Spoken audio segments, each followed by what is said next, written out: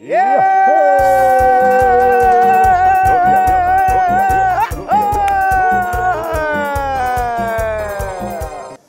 el momento de cantar. Papá quiere cantar y solo no lo vamos a dejar, mi compa. Adelante. Yo quiero cantar, tú quieres cantar, él quiere cantar, todos queremos cantar.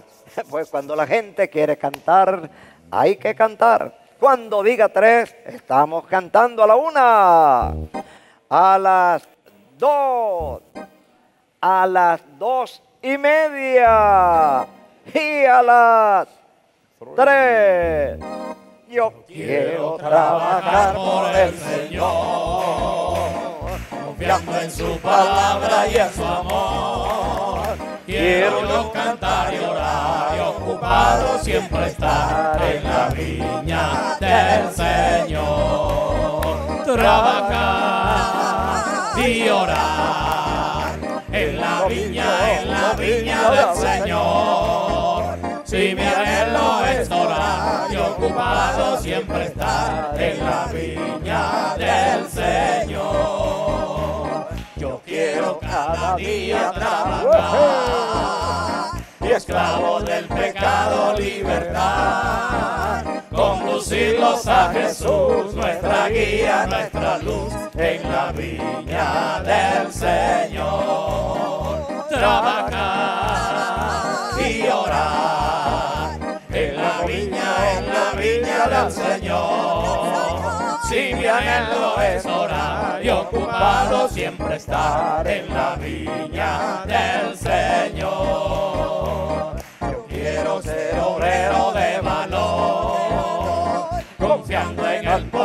poder del Salvador. El que quiera trabajar y hallará también lugar en la viña del Señor. Trabajar y orar en la viña, en la viña del Señor. Si mi anhelo es orar y ocupado siempre estar en la viña del Señor. Arriba las manos. Trabajar, trabajar y orar, y orar en la viña, en la viña del Señor. Si mi anhelo es orar y ocupado siempre estar en la viña del Señor. Por última vez. Trabajar y orar en la viña, en la viña del Señor. Si mi anhelo es orar y ocupado siempre estar en la viña Gloria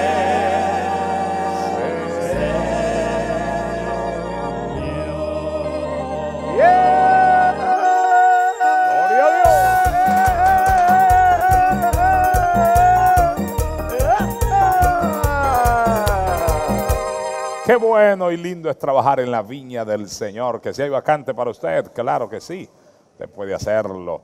La viña del Señor está abierta para todo aquel que quiere sembrar, todo aquel que quiere trabajar en la obra de Dios. Vamos al primer estudio de la Biblia. Por favor, ubíquese allí en Primera de Corintios. Primera de Corintios está en el Nuevo Testamento. Es una de las cartas escritas por el apóstol Pablo, bien instructiva. Tiene que ver mucho con problemas que se presentan hoy, se presentaron ayer, se presentan hoy y se presentarán mañana si el Señor no ha venido. Y hay buenas instrucciones, entre ellas instrucciones para los matrimonios, instrucciones de cómo arreglar problemas entre iglesias y lo que vamos a vivir el día de hoy, lo que vamos a estudiar. Así que muy pendiente allí a lo que vamos a enseñar. Repito, 1 de Corintios capítulo 8. Vamos a terminar ese capítulo completo desde el 3 al 13 y continuaremos con el capítulo 9 desde el 1 hasta el 8. Atención a esta lección. Mi hermano Lester Noriega dándole lectura a la palabra de Dios. Amén. Vamos a leer con la bendición del Padre, del Hijo y del Espíritu Santo. Pero si alguno ama a Dios, es conocido por él. Acerca pues de las viandas que se sacrifican a los ídolos, sabemos que un ídolo nada es en el mundo y que no hay más que un Dios. Pues aunque hayan algunos que se llamen dioses, sean en el cielo o en la tierra, como hay muchos dioses y muchos señores, para nosotros, sin embargo, solo hay un Dios, el Padre, del cual proceden todas las cosas, y nosotros somos para Él.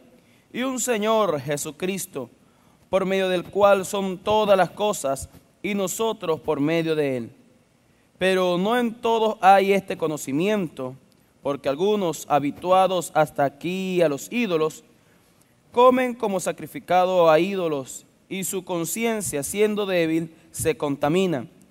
Si bien la vianda no nos hace más acepto ante Dios, pues ni porque comamos seremos más, ni porque no comamos seremos menos, pero mira que esta libertad, que esta libertad vuestra no sea, no venga, perdón, a ser tropezadero para los débiles. Padre, te damos gracias, hemos leído tu palabra.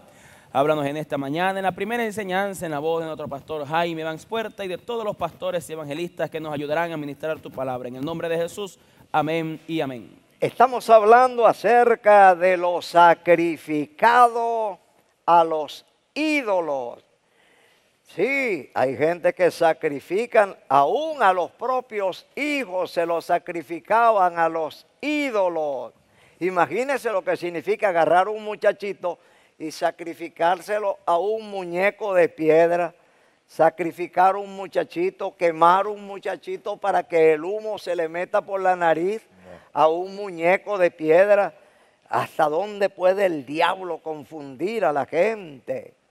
Hoy estamos hablando, oiga bien, Primera de Corintios capítulo 8 sobre lo sacrificado a los ídolos. ¿Qué nos dice el versículo 3? Dígalo conmigo. Pero si alguno ama a Dios, Pero si alguno ama a Dios, es conocido por él. es conocido por él. El que ama a otra cosa no es conocido por Dios. Pero si alguno ama a Dios, ese sí es conocido por Dios. Yo amo a Dios, Dios me conoce a mí. Mi Juan, tú amas a Dios, Sí, señor. Dios te conoce a ti, mi Juan. Amén, papá, amamos a Dios. Nosotros, cielito, amamos a Dios. Dios nos conoce a nosotros. Amén. ¿Por qué nos conoce a nosotros, Lester? Porque le amamos. Porque nosotros amamos. amamos a Dios. La Biblia dice, y esto es Jesucristo, esto no es un invento de la cabeza mía, Jesucristo dijo, muchos me dirán en aquel día, ¿cuál día? En el día del juicio. Muchos me dirán, Señor, no profetizamos en tu nombre y en tu nombre hicimos muchos milagros y en tu nombre echamos fuera los demonios. Y el Señor les dirá, apartaos de mí, obradores de iniquidad, nunca os conocí. Pero Señor, yo tenía mi Biblia, yo, te- yo, yo iba para los matutinos, yo, yo veía los programas del hermano Puerta, nunca os conocí. Señor, yo, yo me bauticé en el río Guanare. Usted se bautizó en el, el río Guanare, pero yo no lo conozco. Eh, señor, Señor, yo, yo, yo, me aprendí Juan 3.16 de memoria. Te aprendiste Juan 3.16, pero yo no te conozco. ¿Por qué? Porque el Señor solamente conoce a los que le amamos a Él. Anote eso, tome nota de eso. No es que porque usted se dé golpe de pecho, ay, ya estoy en la buena con el Señor. No, no, no. Si usted no ama al Señor, el Señor no lo conoce a usted. Y tenga cuidado que usted no pierda el tiempo con una Biblia en la mano y, y haciendo milagros, pero usted no ama a Dios. El que ama a Dios, mire, pone a Dios sobre todas las cosas. El que ama a Dios pone a Dios en primer lugar. La Biblia dice, buscad primeramente, primeramente el reino de Dios y su justicia y todas las demás cosas os vendrán por añadidura. Óigalo bien con los oídos para que no se engañe. Yo no le estoy hablando de la tapa de la cabeza. Ay, el hermano Puerta nos habló de la tapa de su cabeza. No, Señor. Yo no estoy hablando de la tapa de mi cabeza. Yo estoy hablando la palabra de Dios. Primera de Corintios, capítulo 8, versículo 3. Repítanlo conmigo para que no se les olvide. Yo me voy mañana. Yo me voy mañana para Israel y vengo en diciembre por ahí. Ya por ahí vengo en diciembre. Cuando yo venga en diciembre, les voy a preguntar el versículo a ver si todavía se lo acuerdan. Digan conmigo, si alguno ama a Dios, Si alguno ama a Dios, es conocido por él. es conocido por él. Acerca pues de las viandas, oiga, acerca pues de las viandas que se sacrifican a los ídolos. Sabemos que un ídolo Nice. nada es en el mundo y que no hay más que un solo Dios. Nosotros sabemos que lo que se le sacrifica a los muñecos tienen ojos Y no ven. Y no ven. Tienen orejas Y no No, y oyen. no oyen. Tienen manitos Y no palpan. y no palpan. Tienen piecitos No caminan. y no caminan. Tienen boquita, Y no tienen naricita No y no huelen. Son de piedra, son de palo, son de yeso, son de cartón. Hay que cargarlos porque ellos no pueden caminar. Hay que ponerlos de aquí para allá y de allá para acá. La Biblia dice, acerca pues de las viandas que se sacrifican a los ídolos. Aquí dice, sabemos que un ídolo nada es. Hay personas, mis amados hermanos, que sacrifican, le ponen fruta, le ponen manzana, le ponen pera, mucha fruta a un ídolo para que me ayude. Le voy a poner bastante fruta a José Gregorio Hernández para que me cure el muchacho. Mire, él era un gran médico, un gran médico era, pero había un solo carro en Caracas y en un accidente automovilístico el carro le quitó la vida. Bueno, era un gran médico, pero se murió. Después que se murió, está muerto, ya no puede hacer más nada. Lo que hizo, lo hizo cuando estaba vivo. Te dice que era un gran médico, que ayudaba a los pobres, pero ya, ya no puede más. Ay, hermano, yo vi a José Gregorio Hernández. Se me presentó, no, chico, ese no es José Gregorio Hernández. El diablo es malo, el diablo se viste de ángel de luz para engañar, si es posible, aún a los escogidos. No te dejes engañar, ya él se murió y le echaron tierra encima, él se murió. El único que ha resucitado y vive todavía se llama Jesucristo. Ese sí resucitó de los muertos. Pero después de Jesucristo, mire, todo el que se muere que en paz descanse, el que se muere que en paz descanse, déjelo tranquilo, déjelo tranquilo, que si está en el otro mundo con el Señor, está gozándose. Y si no se fue con el Señor, ya usted sabe dónde está, en el infierno, en el lugar de tormento. Hay dos destinos, o arriba en el cielo, en el paraíso con el Señor, o abajo En el en el infierno. en el lugar de tormento. Yo quiero ir para arriba. Hay dos destinos. Jesucristo contó la historia acerca de un rico y un pobrecito mendigo llamado Lázaro.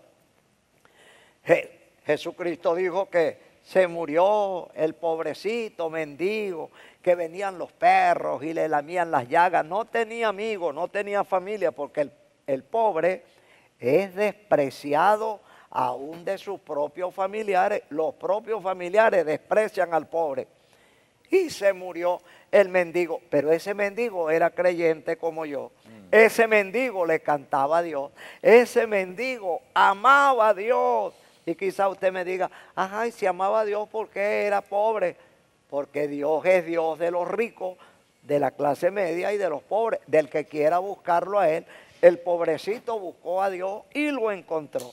Él se murió y vinieron los ángeles y llevaron su alma a la patria celestial. Allá está como un rey. Allá está bien bonito, bien bonito. Allá no tiene llaga, ahora no tiene aporreones. Ahora está bien bonito con la piel como un niño en el seno de Abraham. Abraham lo recibió como un niñito, lo recibió Abraham. Se murió el rico.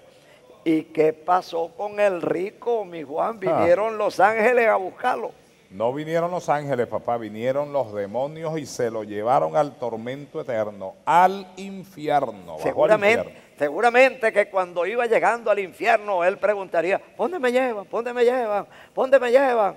Vas llegando a tu morada eterna. No, no, yo no vivo aquí.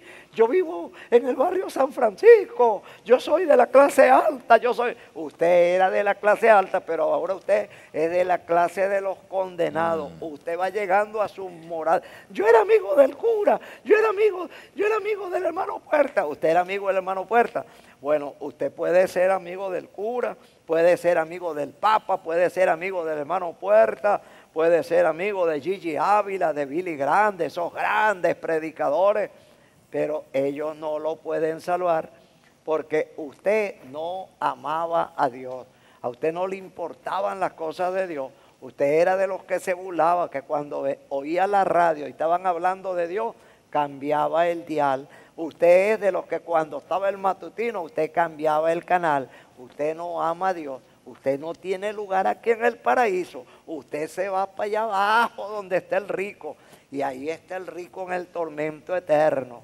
Y estando en el tormento eterno, dice la Biblia que él levantó los ojos y vio a Lázaro, vio a Lázaro arriba en el cielo. Y él, él, como él conocía a Lázaro, él clamó, él dijo, eh, Padre Abraham, dile a Lázaro que se moje la puntica del dedo en agua eh, y que me eche eh, una gota de agua en la lengua. Eh, estoy atormentado aquí en el infierno, aunque sea una, una gotica chiquitica. No, Señor, le dijo. Abraham le dijo, no, Señor, acuérdate que tú tuviste las riquezas en la vida. Y Lázaro lo que tenía eran llagas. Lázaro lo que tenía era desprecio. Tú, tú lo despreciabas, no querías ni que recogiera las migajas en el basurero. Tú, tú lo despreciabas a él. Ahora él está aquí bien bonito en el cielo y tú estás allá abajo llevando candela. Y el rico le dijo, "Eh, Padre Abraham, eh, eh, si no puede venir, entonces mándalo. Yo, yo tengo cinco hermanos, cinco hermanos tengo yo, yo tengo cinco hermanos. Yo soy el número seis. Mándalo para que le predique a mis hermanitos, para que mis hermanitos no vengan a este lugar de tormento. Manda a Lazarito que le predique a mi familia. Y él le dijo, ellos tienen a Moisés y a los profetas, allá tienen a los predicadores, allá está Argüelles. El hermano Argüelles es un pastor que habla todos los días en la radio. Buenos días, por Un programa bien bonito. Buenos días, portuguesa. Ahorita voy a saludar a mi hermano Argüelles, ese es mi amigo. De muchos años, ese me conoció desde que yo llegué aquí, desde que yo llegué aquí a Guanare, y él es bautista. Y, y cuando yo llegué aquí, entonces, y él supo que yo había sido bautista también, él, él me miraba con nostalgia y él decía, el hermano Puerta es maluco, el hermano Puerta es bautista y en lugar de estar en la bautista está predicando por ahí así. Y el hermano Puerta, ¿por qué no está con los bautistas? Bueno, después te lo voy a explicar por qué no estoy. Pero no soy ningún maluco, es que me votaron por pentecostal. Me votaron por pentecostal. Hermano, ahí está el rico todavía. Él sí se acordó de sus hermanos, él se acordó. Yo tengo cinco hermanos, manda a Lázaro que le predique a mis hermanitos, cinco hermanos. Ajá, y los demás que se pierdan, ¿verdad? Maluco. No te importan los demás. Tú quieres que yo mande a Lázaro a predicarle a tus cinco hermanos y los demás que se los lleve el diablo. Maluco. Eras maluco allá en la tierra y ahora eres más maluco en el infierno. Tú quieres, te preocupas por tus hermanos, pero no te preocupas por los demás. Por eso estás en el infierno, por, por, egoísta, por maluco. Ahí estás en el infierno. Aunque quisiéramos pasar de aquí a vosotros, no podemos, ni tampoco podemos subir de allá para acá. Si se pudiera subir del infierno para el cielo, yo creo que no se quedaría, ni el más tonto se quedaría en el infierno. Uh, toditos subirían a la patria celestial. Allí se quedó, mis amados hermanos, el rico eternamente y para siempre. ¿Por qué? Bueno, porque no amaba a Dios. Aquí dice, si alguno ama a Dios, es conocido por Dios.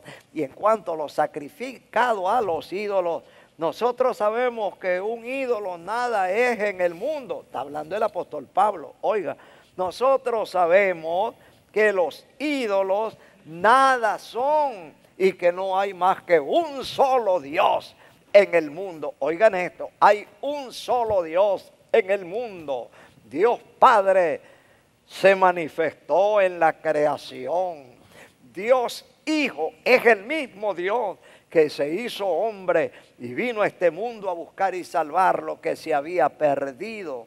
Y Dios Espíritu Santo, el Señor dijo a ustedes les conviene que yo me vaya, porque si yo no me fuera, no vendría el consolador. Yo les voy a mandar el consolador, el Espíritu Santo, para que esté con vosotros todos los días hasta el fin del mundo. ¿Qué es el Espíritu Santo?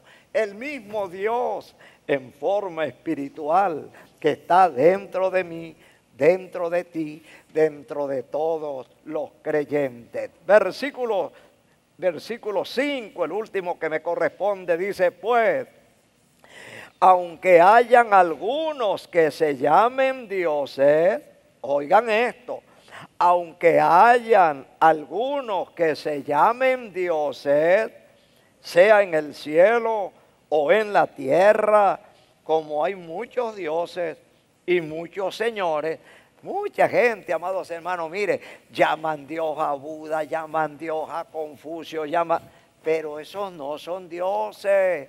Dios es uno solo, Jehová, el creador del universo. Ese es el único Dios que existe en el mundo. Y vale la pena que nosotros lo amemos a Él. Vale la pena que nosotros le sirvamos a Él de todo corazón.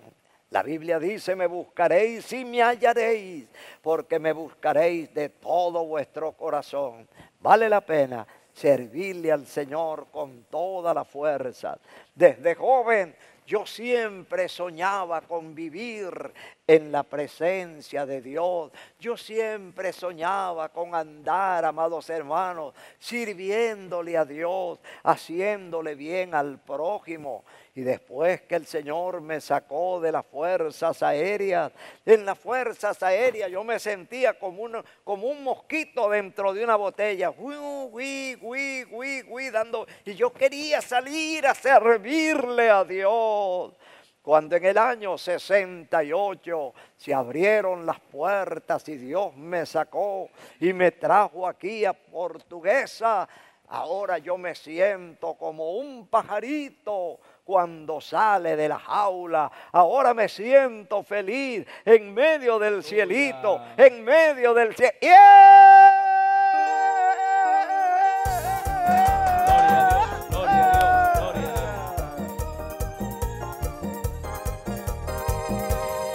Muy bien, que Dios les continúe bendiciendo. Ahora me corresponde dar explicación al verso 6, verso 7, verso 8. Que Dios bendiga al cielito que está presente en este lugar, lo que les corresponde de la misión 31 a la misión 40. Gracias por acompañarnos a todos ustedes que nos ven en casa, que nos siguen a través de la radio, que los que nos siguen por internet, que Dios les bendiga. El verso 6 dice, para nosotros, sin embargo, solo hay un Dios, el Padre, del cual proceden todas las cosas, y nosotros somos para Él, y un Señor, Jesucristo, por medio del cual son todas las cosas, y nosotros por medio de él. Pero no en todos hay este conocimiento, porque algunos, habituados hasta aquí a los ídolos, comen como sacrificado a ídolos, y su conciencia siendo débil se contamina. Si bien la vianda no nos hace más acepto ante Dios, pues ni porque comamos seremos más, ni porque no comamos seremos menos. Eh, una pregunta me gustaría hacerla a ustedes que están en el hogar. ¿Se puede malinterpretar una acción? Una persona que haga algo, alguna persona que lo esté viendo lo puede malinterpretar. Fíjese este ejemplo, hay una persona en una esquina esperando a alguien, llámese hijo, hija, llámese a la esposa, está esperando a alguien en una esquina. Sin embargo, él no se ha percatado, no se ha dado cuenta que en esa esquina a quien está esperando a un ser querido o a un amigo, eh, hay una licorería al lado.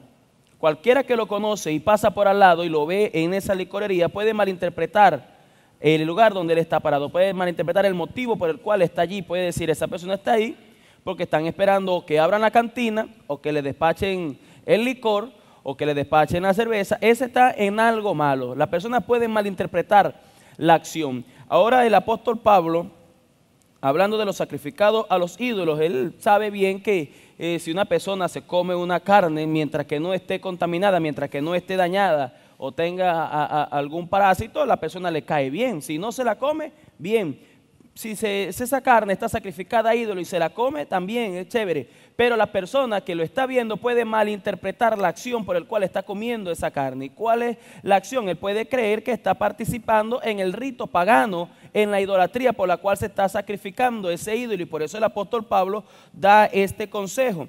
Nosotros debemos cuidar a nuestros hermanos. Yo tengo que cuidar a mi hermano Puerta de lo que él piense, porque si él me ve haciendo algo eh, eh, que no es debido, él puede malinterpretar mi acción, y eso es lo que nosotros hoy día le conocemos como apariencia de pecado. Yo puedo hablar con una hermana con mi conciencia tranquila, la hermana tiene su conciencia tranquila, solamente estamos relacionando, compartiendo algún conocimiento, compartiendo alguna idea, pero una persona puede malinterpretar esa acción y allí donde uno debe cuidarse. Es conveniente entonces que alguien tome a otra persona y que hayan dos o tres o muchas personas más en ese lugar eh, escuchando la conversación, porque si no hay nada que esconder, porque entonces se van aparte por ahí a hablar a solas, a escondidas. Eso es lo que se llama apariencia de pecado y nosotros debemos cuidar a nuestros hermanos hermano, cómo piensa él, qué es lo que está pensando. Ah, pero es que él piensa lo que él quiere. No, pero tú estás siendo culpable al actuar de esa forma. Por eso el apóstol Pablo dice, nosotros sabemos que hay un solo Dios, nosotros sabemos que hay un solo creador, sabemos que hay un solo Señor, que es Jesucristo, nosotros somos de Él,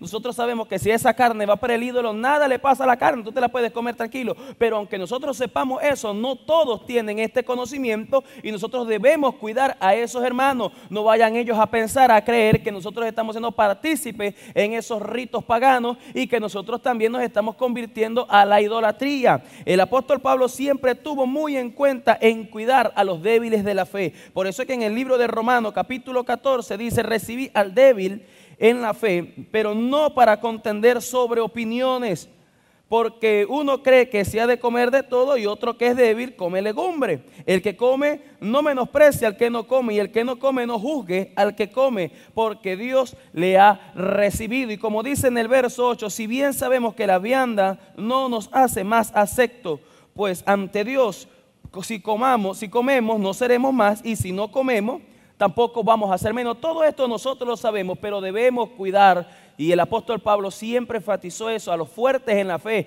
a los que tienen fuerza en la fe, que saben que es lo bueno, los que no se condenan para sí mismos en lo que juzgan, ellos saben que tienen que cuidar al más débil de la fe. El Señor Jesucristo también nos mandó a cuidar de los más pequeñitos. Mire que si hace tropezar a uno de esos pequeñitos, se puede interpretar esos pequeños como débiles de la fe. Si tú haces tropezar a una persona pequeño, débil en la fe, mejor te fuese que te atases una piedra de molino en el cuello y te tirases al fondo del mar. Fíjese, el Señor Jesucristo cuida a los débiles, a los pequeños en la fe. El apóstol Pablo nos aconseja a que cuidemos nosotros a nuestros hermanos, a los débiles en la fe. Y no vaya a creer que usted es fuerte y poderoso. No, es cuidar a nuestro hermano así como ellos te cuidan a ti también. Vamos nosotros a amarnos. En esto se demuestra el amor cuando nos cuidamos los unos a los otros. Que Dios le bendiga y que Dios le guarde.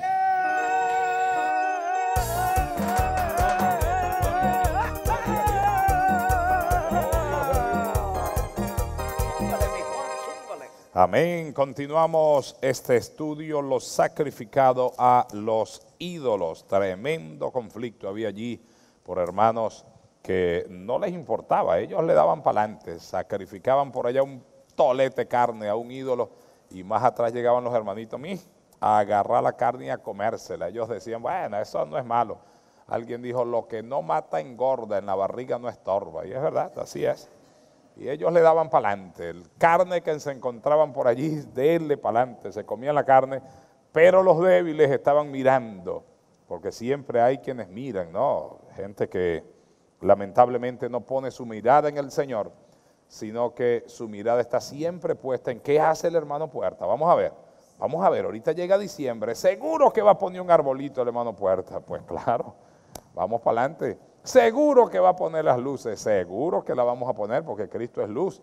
Y una de las cosas que hacía la gente cuando, cuando Jesucristo venía entrando contento, feliz a Jerusalén, era que agarraban los árboles y los tiraban allí a, los pies del Señor y pasaba el Señor.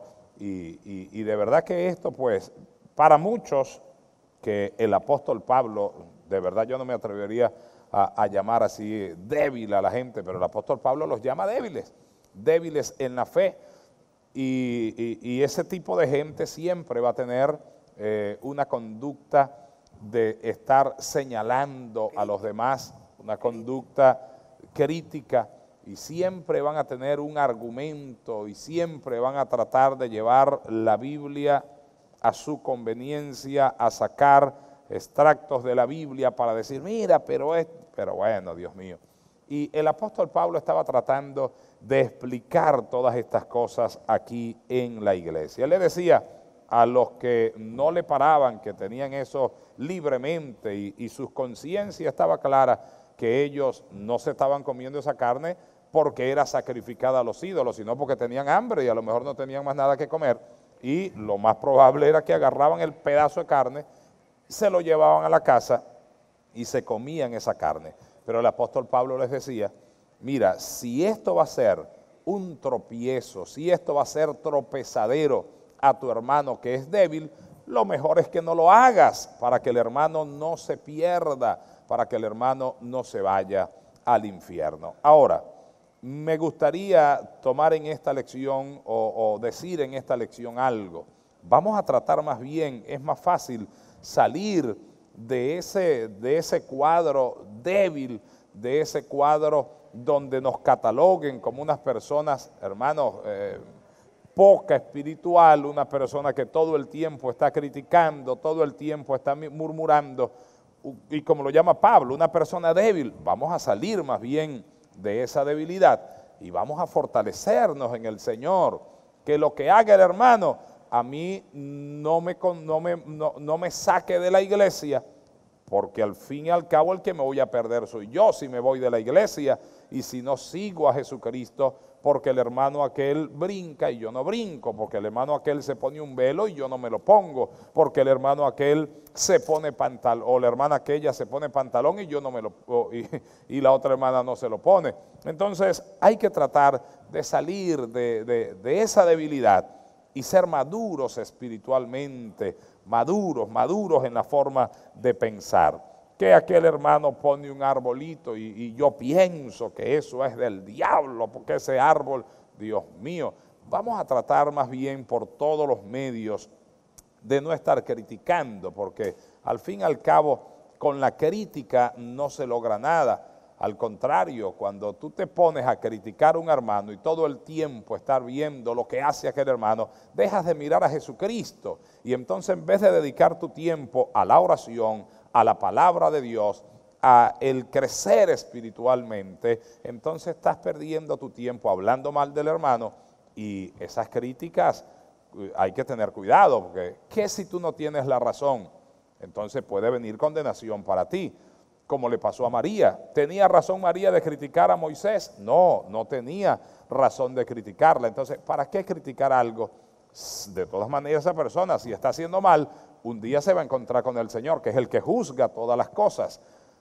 Y si eres tú, si aquel hermano tiene razón y eres tú el que no la tienes y te pones a criticar, mira, puede ser que venga condenación de Dios para ti. María se puso a levantar su mano contra Moisés, el ungido de Dios, y María no tenía razón, Aarón tampoco tenía razón, y vino juicio de Dios sobre esas personas. María quedó leprosa y tuvo que sacarla a Dios de en medio del campamento y todo el pueblo esperar allí durante siete días que la misericordia de Dios viniera otra vez sobre ella para continuar su camino. Entonces, ¿para qué lanzarme condenación encima por estar criticando a un hermano? ¿Para qué lanzarme condenación encima? Prefiero orar por él, Señor. Si él está en un error, trata con él a través de sueño, a través de revelación, muéstrale la palabra, pero no te pongas tú en condenación, no te pongas tú a criticar al hermano. Es lo que Pablo estaba enseñando aquí a través de esta lección. Versículo 9 dice, pero mirad, que esta libertad vuestra no venga a ser tropezadero para los débiles. Tratar por todos los medios que si yo sé que mi hermano, mi hermana, mi padre, mi madre, no le cae bien lo que estoy haciendo, vamos a tratar entonces de no hacerlo. Pero repito, en este caso yo diría más bien, mire, vamos más bien a enseñar, a ayudar a esos hermanitos débiles para que ellos traten de madurar en el área espiritual y que no se vayan al infierno, porque hoy es una cosa, mañana será otra, pasado mañana será otra, y terminarán entonces como, bueno, habrá que hacerle una iglesia aparte solamente a ellos y no debe ser así de esa forma porque en el cielo vamos a estar todos, tanto pentecostales como bautistas, ahí estaremos todos, en el cielo estaremos todos juntos. Entonces vamos a empezar a practicar aquí en la tierra porque en el cielo vamos a estar todos, todos juntos. Versículo 10 dice, porque si alguno te ve a ti que tienes conocimiento, sentado a la mesa en un lugar de ídolos, la conciencia de aquel que es débil no será estimulada a comer de lo sacrificado a los ídolos. Era un problema tremendo lo que había allí en, en Corinto, ¿no?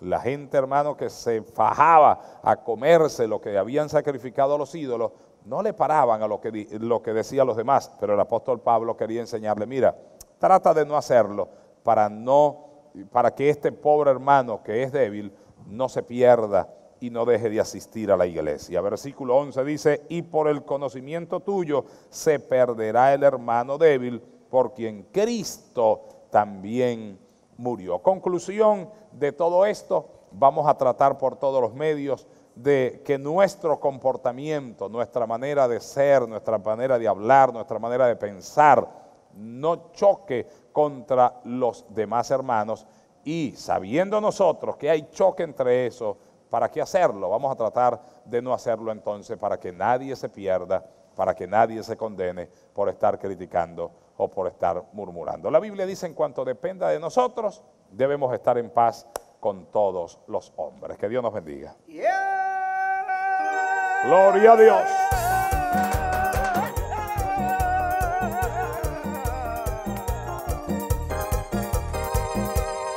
Vamos a la conclusión. Estamos listos para presentarles la conclusión del día de hoy. Ya el doctor Jaime Vans Puertas tiene su Biblia abierta allí en Génesis capítulo 43. Él nos va a enseñar dos versículos el día de hoy, versículo 3 y versículo 4. Vamos a disfrutar de esta lección. Nuestro hermano Lester da lectura a la palabra de Dios. Amén. Lo vamos a leer con la bendición del Padre, del Hijo y del Espíritu Santo. Respondió Judá diciendo, aquel varón nos protestó con ánimo resuelto, diciendo, no volveréis mi rostro, sino traeréis a vuestro hermano con vosotros. Si enviares a nuestro hermano con nosotros, descenderemos y te compraremos alimento. Padre, te damos gracias, hemos leído tu palabra. Háblanos en la conclusión de este matutino en la voz de nuestro pastor Jaime Puerta. En el nombre de Jesús. Amén y amén. Tremendo título de la lección de hoy para conclusión. Los hermanos de José regresan con Benjamín. ¿Quién es Benjamín? El hermanito menor, el hijo menor de Jacob. Él tenía doce hijos. Ah, pero los doce hijos no eran de una sola mujer. Oiga, había tenido, mis amados hermanos, con Raquel, la que tanto amaba. Eh, había tenido con ella dos muchachitos. Uno se llamaba José, que está ahora en Egipto, y el otro, el último, el que dio a luz y se murió, Benjamín. Y ahora José les dice, se queda uno preso aquí y váyanse los otros a traerme a su hermanito menor. Porque si ustedes no me traen a su hermanito menor, entonces ustedes lo que son es unos espías. No, nosotros no somos espías, nosotros nunca hemos sido espías. Ustedes son espías, que lo digo yo. Vayan a buscarme a su hijo menor. Cuando le llegan allá al papá para que entregue al menor, dice, ay, ustedes me van a hacer morir Me llevaron al penúltimo y ahora se van a llevar la surrapa. Se van a llevar al menor también. No, no, no. Ustedes me van a hacer descender al sepulcro antes de tiempo. Aquí toma la palabra Judá, mis amados hermanos. Y Judá responde diciendo en el versículo 3, aquel varón nos protestó con ánimo resuelto diciendo, oiga, aquel varón nos habló con coraje. Él nos dijo, ¿qué fue lo que nos dijo? No veréis mi rostro si no traéis a vuestro hermano con vosotros. Si ustedes no me traen al, hermano menor, usted, aquí no hay comida para ustedes. Ah, no me van a ver más mi rostro.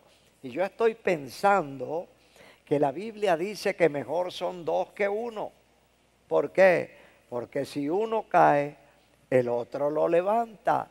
Si dos duermen juntos, se calientan el uno al otro, pero si uno duerme solo, ¿quién lo calentará? Mejor son dos que uno. Pedro y Juan entendieron y ellos subían juntos a la hora de la oración. La Biblia dice que si dos de vosotros se ponen de acuerdo, todo lo que aten en la tierra será atado en el cielo y todo lo que desaten en la tierra será desatado en el cielo. Hay personas que les encanta andar, les encanta conducirse como llanero solitario. Quiero decirle que eso no funciona. Acuérdese lo que le pasó a Sansón. Él era solo, él andaba solo, él no tenía comunión ni siquiera con Dios ni siquiera con su padre o con su madre, llanero, solitario. ¿Y cómo terminó Sansón, mi Juan? Bueno, lamentablemente terminó sin ojos, sin cabello, moliendo y siendo la burla de toda una nación.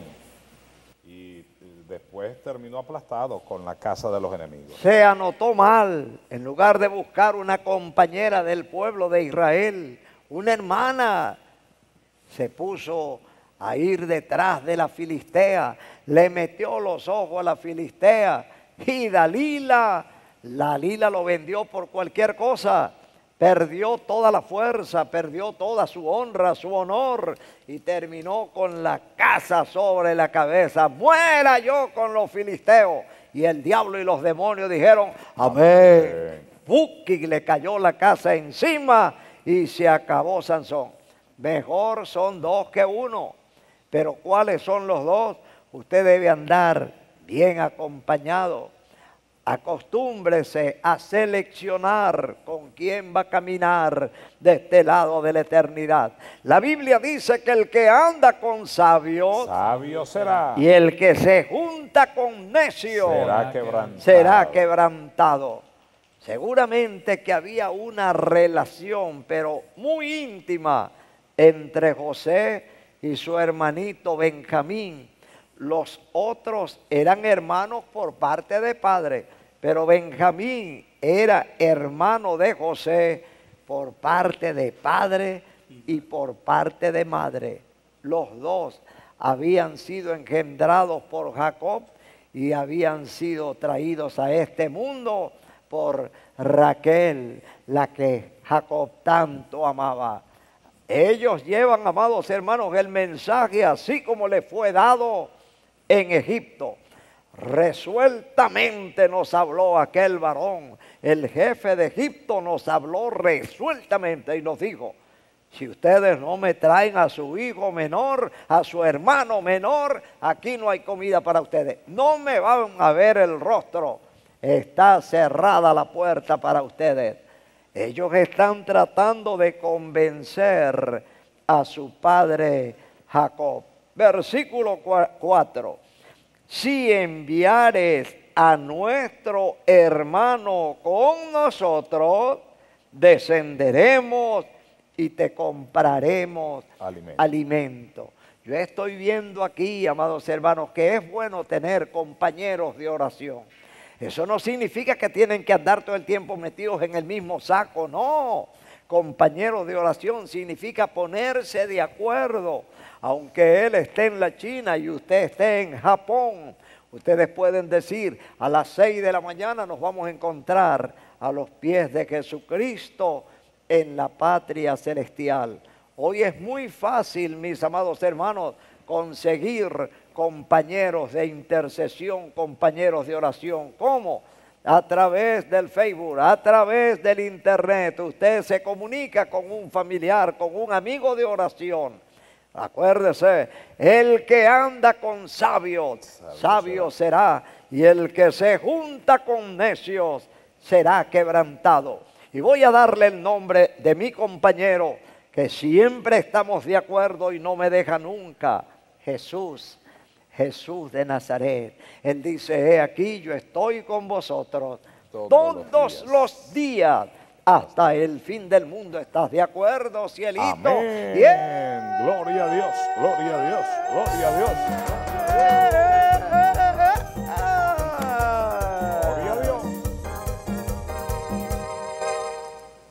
Dios le bendiga en esta mañana. Me Amén. corresponde Génesis capítulo 42, versículo 37. Y dice, y Rubén habló a su padre diciendo, harás morir a mis dos hijos, si no te lo devuelvo, entrégalo a mi mano para, para que yo lo devuelva, le volveré a ti.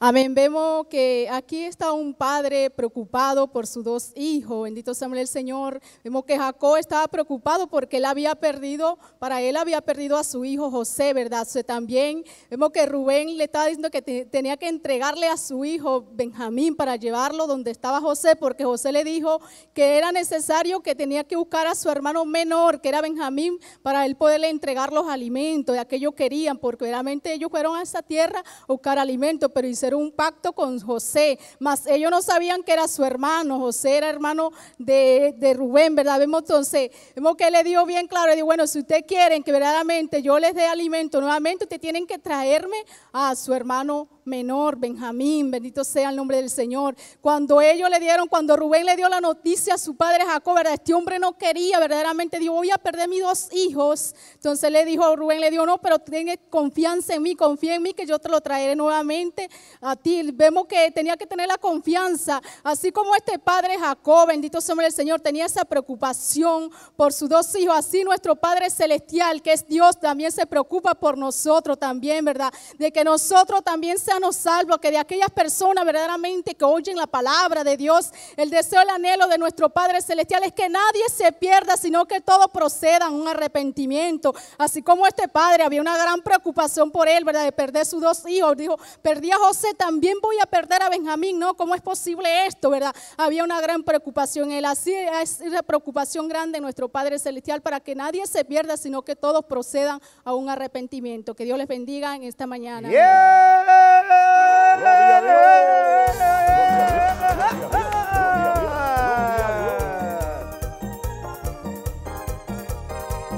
Bendiga, amén. Dios es bueno. Y para siempre su misericordia.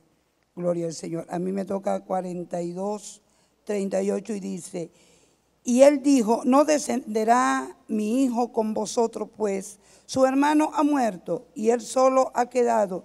Y si, y si le aconteciere algún desastre en el camino por donde vais, haréis descender mis canas con dolor al Seol. Vemos a este hombre con gran angustia, con un temor demasiado grande. Él perdió, había perdido a un hijo muy amado, y él tenía mucho temor de perder a ese otro hijo. Y le dijo, mi hijo no va con ustedes. Él no va porque si le aconteciere alguna cosa, yo moriré. Él iba a morir antes de tiempo. Dios tiene preocupación por nosotros. Nosotros debemos de tener preocupación por nuestros hijos. Preocupémonos siempre, gloria al Señor, como este padre estaba preocupado. Él decía, él no va a ir y le estaban pidiendo, le decían, no me lo están pidiendo, porque si no llevamos a nuestro hermano no vamos a tener alimento. Pero él decía, ustedes no cuidaron de José, tampoco van a cuidar de Benjamín. Ustedes no van a cuidar de él, por eso él no va. Y ahí había ese gran temor. Usted y yo debemos de tener el temor de hacer lo malo Siempre debemos de tratar de agradar a Dios en todas las cosas. Amén. Dios nos bendiga, Dios nos guarde. Gloria a Dios.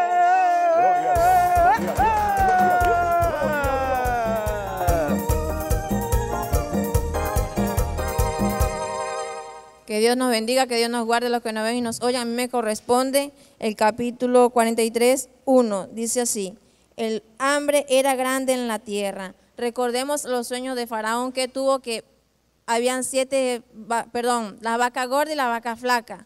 Eso representa que venía hambre sobre la tierra también y había, abundancia también. Pero recordemos que tenemos un Dios que provee todo, amén. Este, Faraón tuvo ese sueño, más José se lo interpretó, pero que José le dijo en el capítulo de mismo Génesis 41, 35, que recogieran, junten todas las provisiones de, estos años que vienen y que lo guardaran. Pero más adelante en el, 6, di- en el 36 dice que el pueblo, que el pueblo, el país no iba a perecer, no iba a pasar hambre. Cuando le creemos al Señor, el Señor va a proveer todo lo que nosotros le estamos pidiendo. Le decía, una, le decía a la hermana que está aquí a mi lado, ayer nos pusimos de acuerdo a ir a comprar. Entonces, el, hermano que estaba predicando en la campaña dice, los que van a llegar a sus casas van a ser sorprendidos. Yo creí esa palabra y dije, Señor, yo lo creo. Cuando llego a la casa estaba una bolsa con comida allá. Íbamos a ir a buscar comida, pero ¿qué? Tenemos el Señor que lo provee todo. Amigo, tú que estás pasando por tantas cosas, ven a los pies del Señor, pídele a Él y Él te va a dar. Que el Señor te bendiga y el Señor te guarde.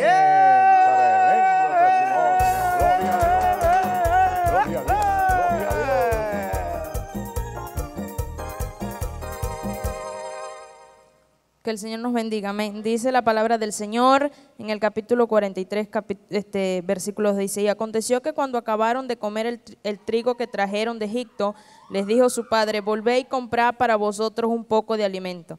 Vemos pues como todo padre de familia siempre está preocupado, ¿verdad? Por lo que tienen que comer sus hijos, toda ama de hogar. Pero en estos tiempos nosotros como cristianos debemos preocuparnos por la comida espiritual, amén.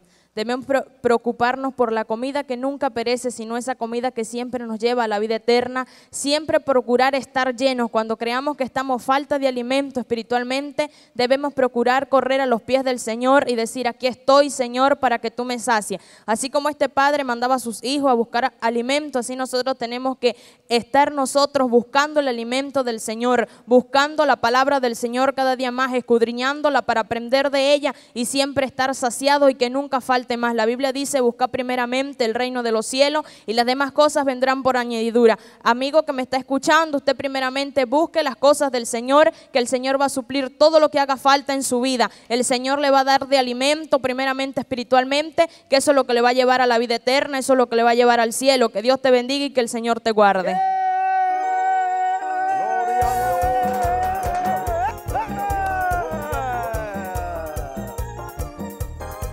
Dígalo conmigo, cielito. No solo de pan vivirá el hombre, Solo de pan vivirá. sino de toda palabra que viene de la boca de Dios. Qué bueno que hoy hemos comido bastante de la palabra de Dios y hemos llegado al final del camino.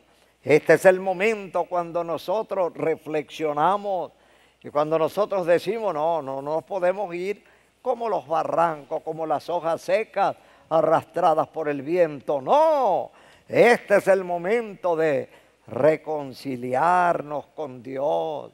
La Biblia dice que si alguno hubiere pecado, abogado tenemos para con el Padre, Jesucristo, el Hijo de Dios.